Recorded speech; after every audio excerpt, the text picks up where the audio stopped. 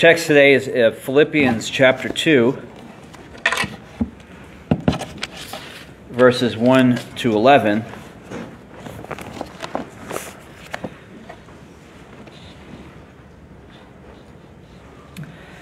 Um, so last time we finished up chapter 1, we looked at the last few verses there, and uh, we, we read how we are to live lives worthy of the gospel uh, and how there should be this fearless unity uh, among us in the church, uh, knowing that we are called not only to believe in Christ, but also to suffer for his sake.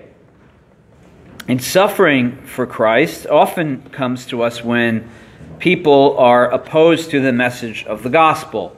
Thankfully, it's not usually too strong, uh, too, the suffering's not too intense here usually, but uh, whenever there's opposition to uh, the, the message of the cross, uh, that is a type of suffering, and that's what Paul was referring to.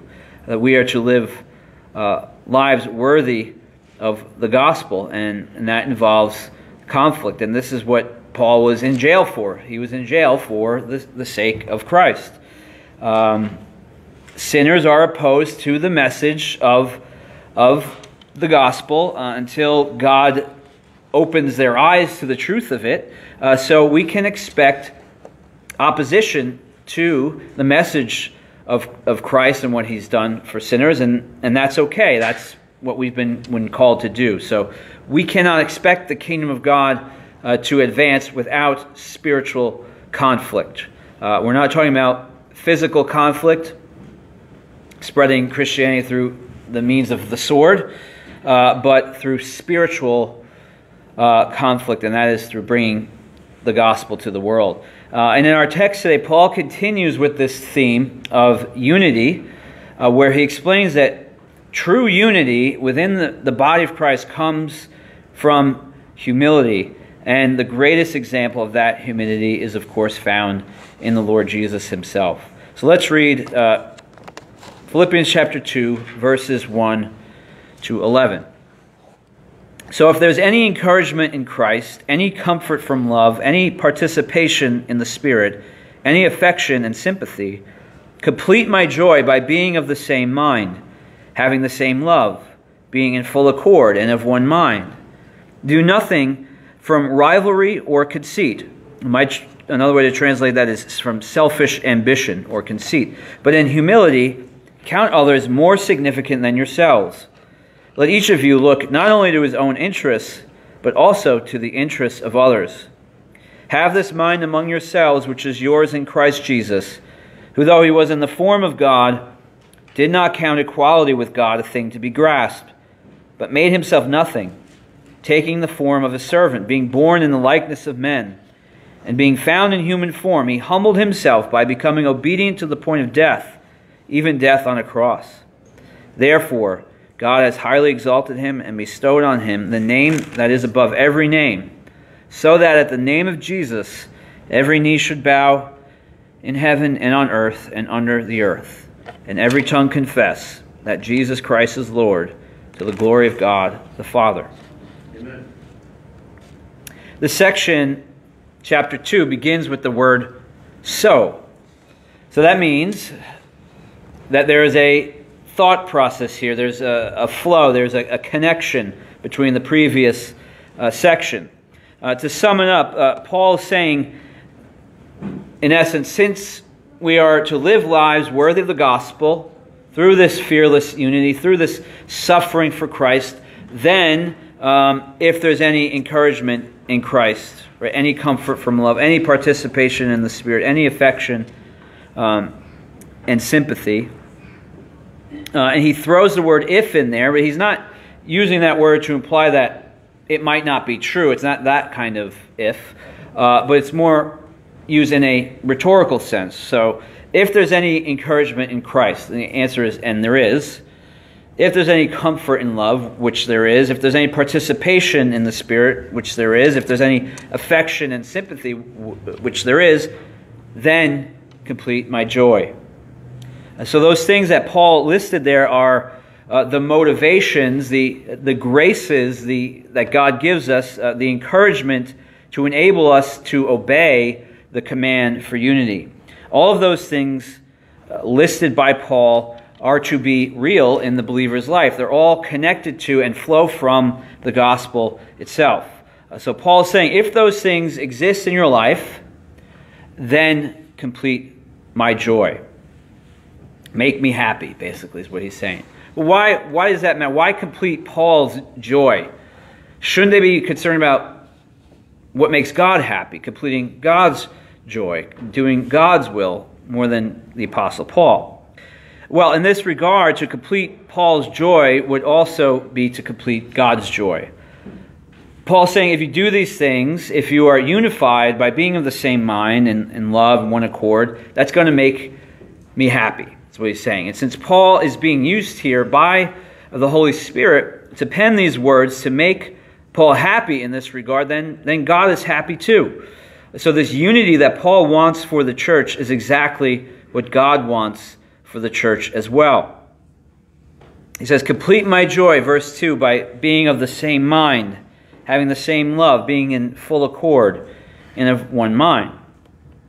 The first thing he mentions here is being of the same mind. It's a li- that's a little bit different than what he says uh, w- when he means uh, to be of one mind. It's different different words there. The Greek phrase "being of the same mind" has to do primarily with attitude. Some of these nuances we miss in the English translation, but it means really uh, everyone should be on this have the same kind of attitude uh, towards each other, and we'll dig into what that looks like in a little bit. He says uh, they should have the same love, right? A, a, love, obviously, for Christ and love for each other. Love is the, the great unifier of the body of Christ. Without genuine love uh, for one another, there cannot be unity. There will only be division. Colossians 3:14 says, "And above all these, put on love, which binds everything together in perfect harmony, right? That is, that is the goal here, to, to bring everything together in perfect harmony. And, and Paul unpacks what real love looks like among Christians in the verses that follow. Uh, he, he, he then says they have to be in full accord. Again, the Greek, it's kind of missed in the English. It, it means to be joined in soul. To be joined in soul. Kind of like, you know, a husband and wife might say, or even boyfriend and girlfriend would say, we're soulmates, right? We're, we're made for each other. Because we're just on the same page about everything, and you know, we're, we're unified. And then they get married and they realize they're not as unified as they thought they were. Um, but they love each other, they're made for each other, they're soulmates, right? So Christians should be joined in soul, united together for uh, in our love for Christ and for each other. And then he says, be of one mind. All right, that's uh, unified in our in our thinking. This doesn't mean that we uh, never disagree on anything. Um, we're all just a bunch of robots who believe the same thing. We never see anything differently. Um, but we must all think the same when it comes to the non negotiable truths of the gospel, the truth of Scripture. Those we cannot waver on. We must be on the, have the same mindset. We have to be on the same page when it comes to doctrine, sound doctrine. All right, so, so Paul sets a pretty high bar here when he calls for unity in the church. And if the command to be unified ended here, and that was, that was all we had, it would kind of leave us helpless. It would kind of leave us discouraged. Um, if we weren't so corrupted by sin as we are, then we could probably figure it out uh, naturally how to have the same attitude, how to uh, love each other, how to be of the same soul and mind. Uh, but because we're not yet free from indwelling sin, and even as Christians, we have a hard time being unified together in love. And so, thankfully, because God is good and loving and, and kind, He's shown us in His Word uh, here, uh, commands to follow that demonstrate to us what true Christian love and unity looks like. He elaborates beginning in verse 3. Do nothing from rivalry or selfish ambition or conceit, but in humility count others more significant than yourselves. So do nothing from rivalry or conceit. I was looking at another, I have another ESV Bible, and it translates rivalry as selfish ambition. I don't, I'm not sure what you, have, but it, that's the, the main idea selfish ambition, right? This do nothing from those things. So that's a very broad command. Do nothing from selfish ambition or conceit. Uh, don't do anything from selfish desire, is what he's saying. So, to bring unity into the body of Christ, you must not do anything at all to put your needs above the needs of others, doing what you prefer at the expense of other people, right? Selfishness always negatively affects someone else. Uh, this doesn't mean that if you do something to benefit yourself at all, you're sinning. Uh, we all do that, right? As Paul mentions in verse 4, we'll get to that shortly. Uh, but if you do something to benefit yourself at the expense of somebody else, that is selfishness and that is sin. You're prioritizing your desires, your needs, your preferences at the expense of others. Uh, it doesn't matter how small the thing might seem to be. He says, do nothing from selfish ambition. Think about that in your everyday life, especially when it comes to your family, with the people who you're around the most. Just think about you know, the little things that you do every day where you might not even think selfishness is, is an issue. Uh, all of us, uh, as sinners, even Christians with fighting against that old nature, naturally within us, we are selfish, right? Sometimes it's more obvious in others uh, than, than some, or it's in other times in our life, we might be more selfish than other times. Uh, but there's many different ways, many different times where we could be selfish. Um, and we, we do things and we act out of selfish ambition. He says, do nothing from selfish ambition or conceit. King James translates conceit as vainglory, right? We don't really use that, that term anymore, but I think that's uh, a good translation. The, the idea is the same, right? It's, it's pride, right? It's thinking uh, too highly of yourself, being conceited. So don't think highly of yourself. To, to think highly of yourself is, is completely antithetical to the gospel, right? I know the philosophy of the world is uh, to think highly of yourself, to, to boast about who you are and all these things, but it's that's totally against the gospel because the reason Christ died is because naturally you and me we're, we're terrible. We're, we're terrible horrible people uh, sinners right? You're not good. I'm not good. Uh, we're all rotten uh, to the core right? And that's why christ came uh, to save you to save you from yourself. So don't do anything from selfish ambition or from the mindset that you are such a great person, right? If you think like that, you have forgotten the whole foundation of the gospel is that we're all sinners. And so thinking highly of yourself, being conceited, that, that's one of the main things that contributes to selfishness, to think that I am worthy of, of whatever I'm about to do, and that doesn't matter if it affects you negatively or not. Right? So he begins with a negative command. Don't do anything selfish ambition or conceit. And then the positive command there is, but in humility, count others more significant than yourselves. And what does that mean? What does it mean to count others more significant than yourselves? Well, it doesn't mean uh, to just pretend that others are uh, maybe better at uh, a skill than you, when in reality, they're not. Like, I'm not going to pretend that my wife's a better guitar player than me because she's not. And I'm a mediocre guitar player, but she's not better than me because she doesn't play guitar. I'm not going to have false humility and say, oh, she's so much better than me. Um, it's not an insult, it's just the reality. We we're not going to be fake here and, and have false humility. That's really not any better, right? It's not truthful. I like, uh, John Piper describes uh, what this means uh, to count others more sig- significant than yourselves. Uh, I like his definition. He says, it means to count others as worthy to be served. You count others as worthy to be served. Uh, so when you count others as worthy to be served, you're truly humbling yourself. If a king has someone who serves him, uh, the servant views the king as someone who's worthy to be served. Right? He is the he is the king. I'm, you know, the servant. I will serve him. He's worthy of it. We're to have that kind of mindset. Not that we treat everybody as a king, uh, but that we view them as uh, worthy to be served. To count a person more significant than myself is to acknowledge that that person is not beneath me and I am not better than them. They're my brother or sister in Christ. They've been saved by the same uh, grace of God. They've been saved by the same Savior as I have. Christ humbled himself for their sake and for mine, and I must do the same.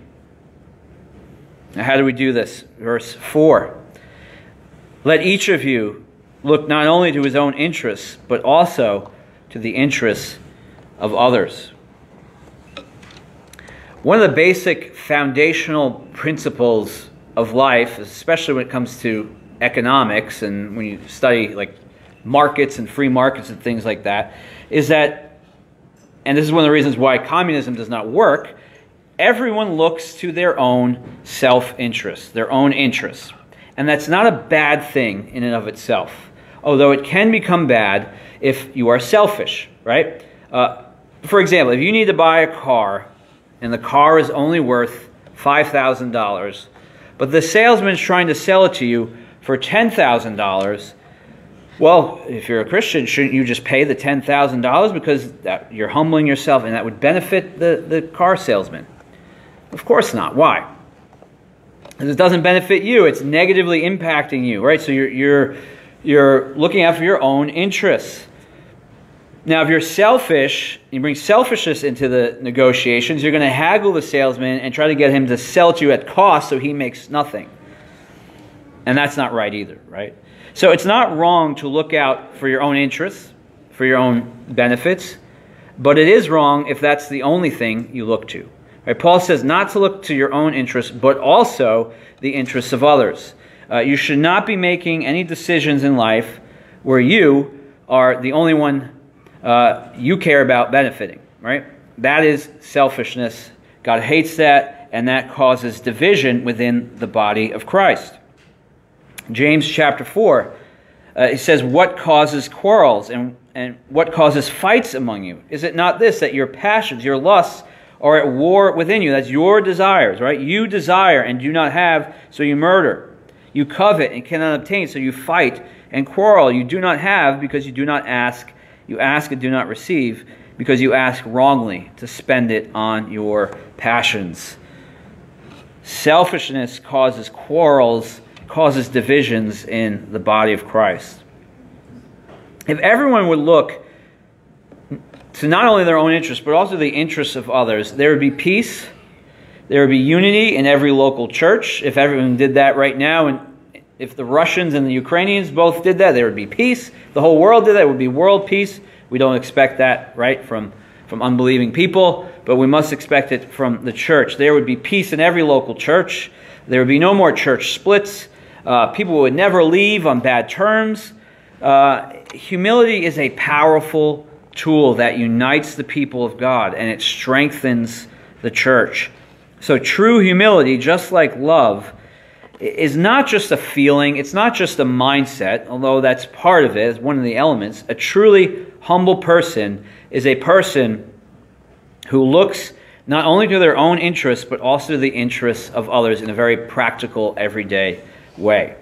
So every decision you make, big or small, should not have you at the center of it. You should be always considering how, how this will affect other people positively or negatively.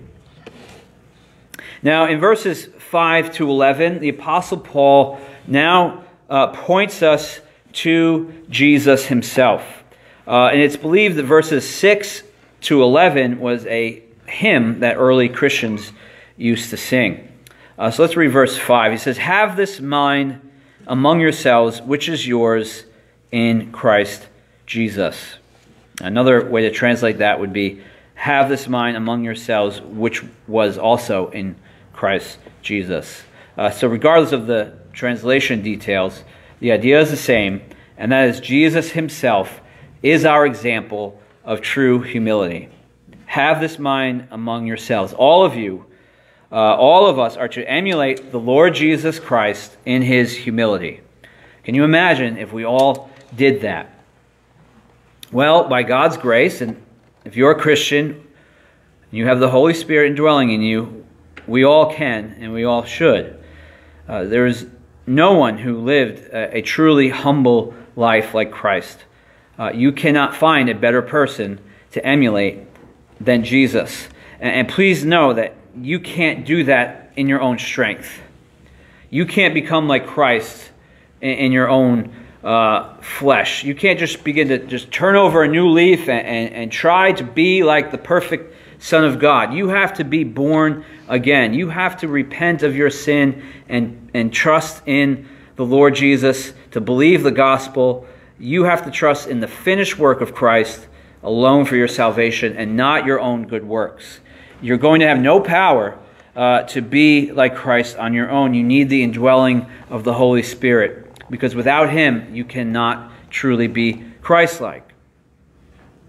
Now, in verses 6 and following, we see uh, a description of the humility of Christ. This is the, this is the humility we are to strive for. This is the standard. Okay, let's look at verse 6. He says, Who though he was in the form of God, did not count equality with God a thing to be grasped. So Jesus, as I trust you know and believe, was fully God fully man, yet many, in many ways he lived his life as if he was only the latter, as if he was only a man.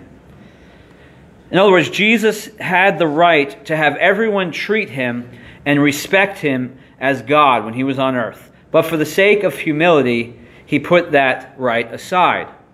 So Jesus had every right to kick Herod off the throne and to sit there and make everyone do his bidding, right? But he didn't.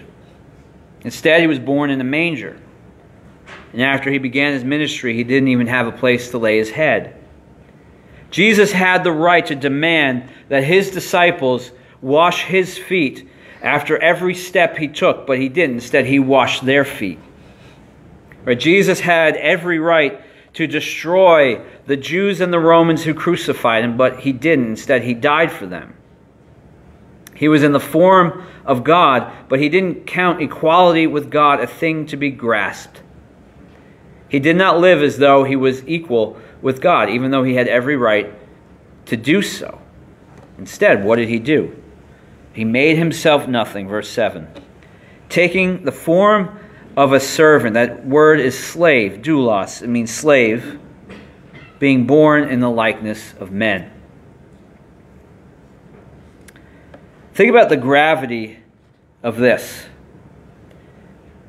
Jesus, the second person of the Trinity, God the Son, eternally existing, who literally created everything, became nothing. He was in the form of God, but he took on the form of a slave, humbled himself, came to earth, and obeyed the Father perfectly. God, the creator of men, was then himself born in the likeness of men, became a helpless baby. As we read in Isaiah 53, he had no form or majesty that we should look at him, and no beauty that we should desire him. He was just an ordinary guy, a carpenter from a podunk town in Israel. And this humility of Christ, humbling himself to the point where he's not just like an ordinary man, actually, he takes on the form of a slave. Even though he wasn't officially you know, regarded by society as a slave, he took on that form. He took on the lowest class of human beings that there were at the time. You couldn't get any lower. He lived like a slave, a slave to the Father's will, obeying him no matter the cost. And as if humbling himself to become a man and a slave wasn't humble enough, look at what else he did. Verse 8 And being found in human form, he humbled himself by becoming obedient to the point of death, even death on a cross. So, the reason why Jesus humbled himself and took on human form was so that he could go even lower and so that he could die, so that God himself could, would die. He obeyed his father just like a slave obeys his master to the point of dying on the cross. So, you can't get more humble than that. And what's more, he died via Roman crucifixion, a type of execution reserved for the worst of criminals. Slow, torturous, and utterly humiliating. He didn't just die in his sleep. The Son of Man took on flesh, took on the form of a man, the form of a slave, and he hung, beaten, naked, and nailed to a tree so that he could save you. And on that tree, the wrath of his very own Father was poured out upon him for your sin. You cannot find anyone who's more humble than Jesus, the Son of God, dying for his people. And when you look at the humility of Christ, how God became nothing, and how he died the death we deserve to die on the cross under God's wrath, is it, is it really too much to look not only to our own interests, but the interests of others? Is that too much to ask? If you want to know what it looks like to not look to your own interests, but also the interests of others, you have to look at the cross. Look at the cross of Christ. Jesus died on the cross, not out of his own self interests. He went to the cross first and foremost out of his Father's interests. Remember when he prayed in the garden for God to remove the cup from him? Right? And he said, Nevertheless, not my will, but yours be done. He, he wanted the best, uh, he, he, did this for the, the Father's interest, the best interest of the Father. And secondly, he died on the cross because it was in your best interest. You benefited from the cross.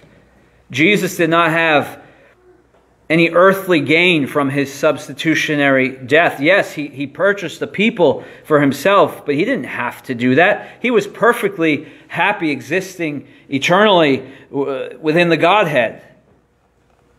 But it was the will of the Father to crush his Son and to save the souls of men. And so he did it. Jesus went to the cross because he was looking to the interests of others. He was looking to the interests of his Father and you. And when you think about the depths of the love and the humility of Christ, how easy it seems to be that we should no longer then look to our own interests, but to the interests of others. If Christ laid down his life for us, how much more should we inconvenience ourselves for the sake of others? C.T. Studd, a, a, preacher from the uh, about 100 years ago in England, he said, If Jesus Christ be God and died for me, then no sacrifice can be too great for me to make for him. Amen. Humility is a sacrifice that we all should joyfully make for one another because that's what Christ has done for us to the utmost degree. And Paul doesn't end here either. It's not just. Uh, Christ was humble, and that's it. What happened? What was the result of his humility? What was the fruit of it? It is, uh, it is a glorious uh, result. If you look at the rest of the chapter, verses 9 to 11, therefore, because of this, because of his humility, God has highly exalted him and bestowed on him the name that is above every name, so that at the name of Jesus every knee should bow in heaven and on earth and under the earth and every tongue confess that Jesus Christ is Lord to the glory of God the Father. Christ's humiliation resulted in his exaltation. So, because Christ was obedient to the point of death, even death on the cross, He rose from the dead, and he's seated now at the right hand of the Father, where he's ruling and reigning. And because of his humility, God exalted him to the highest place. For his name, the name of Jesus, is above every name. He's greater than any prophet or any man that's ever lived. That is the result of his humiliation. He became nothing, but now he is everything. And one day every person will bow their knee to the Lord Jesus Christ and it is far better to bow the knee to him here in this life than to be forced to do it in the next life on the day of judgment. Because one day every knee will bow and every tongue confess that Jesus Christ is Lord to the glory of God the Father. Every knee and every tongue, every person that's ever been created will acknowledge the Lordship of Christ, whether they follow him or not. That is how exalted the name of Jesus is. It seems like it's, his name is not exalted now because people rebel against him. They use his name as a curse word. But one day they're going to confess that he is Lord. That's how exalted he is. He says it's going to happen in heaven. Or that's the followers of Christ, obviously, that are in heaven, are going to acknowledge the lordship of Christ, and the angels as well. Those on earth, those who are here perhaps at his return, right? They're going to confess Jesus as Lord when they see him coming. And those, he says, who are under the earth. I think that's a reference to the, the spiritual realm. If you recall back uh, when we studied 1 Peter chapter 3, Peter talks about baptism and, and he mentions how uh, Jesus proclaimed uh, victory basically to the spirits in prison. I believe that's uh, what happened when Jesus was buried, when he was in the grave. He went down there uh, to this place uh, where there were spiritual beings, uh, the spiritual beings who rebelled against God in the days of Noah, right? Uh, they were there being imprisoned, and he proclaimed his victory to them. So Paul's saying that every person, every spiritual being, will one day declare the lordship of Christ to the glory of God. That is what the humility of Christ produced. His humiliation resulted in his exaltation. So, if the humility of Christ produced exaltation, what will be the result of our humility?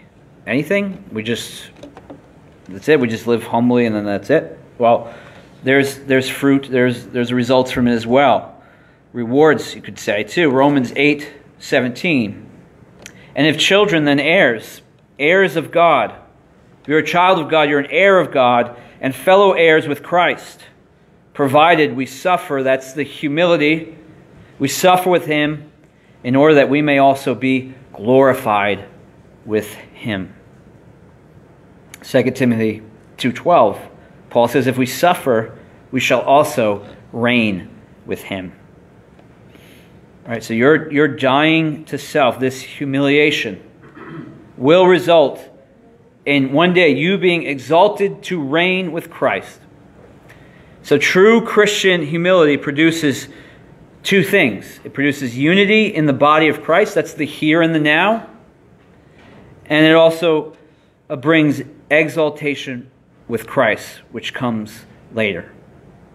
So, Christian humility which emulates the life of Christ by counting others more significant than yourselves and looking not only to your own interests, but to the interests of others as well.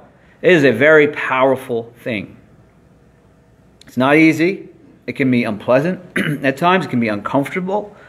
But it will lead to God being glorified through love and unity in the church, which will ultimately one day result in you being exalted to reign with Christ.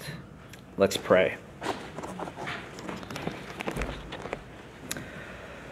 Father, I pray that you would teach us to be like your Son, Jesus. May we always have the cross before us. May we always look to the humility of Christ as our perfect example to follow. Lord, help us to love each other May we not look out for our own interests, but also to the interests of others, just like you did. Help us, Lord. Give us the grace to do that. We pray this in Jesus' name. Amen. Amen. We'll close with a